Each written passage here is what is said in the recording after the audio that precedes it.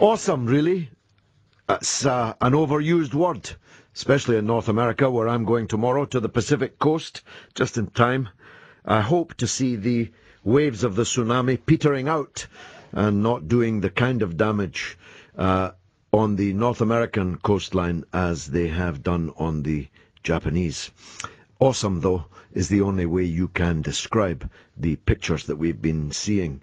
As Jason Cundy was just pointing out, we're actually getting far, far more graphic footage of this tsunami than of the last because Japan is such a developed country, was able to get its helicopters and its aircraft up in the air, and with the well-known propensity of the Japanese uh, to uh, operate cameras, we are actually capturing footage now that will be seen, I think, for decades, maybe centuries to come.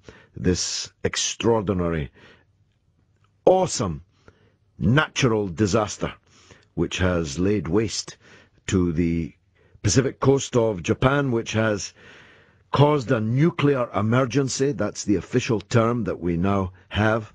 A nuclear emergency in the country which has swept away bullet trains and ships and factories and houses and whole towns have been swept away into the countryside and then sucked back again by the waves retreating and all the debris ending up back at sea. It is truly extraordinary. We'll be talking to Gavin Hayes, a seismologist, who will be explaining what happened today in Japan and the repercussions around the world in terms of the tsunamis.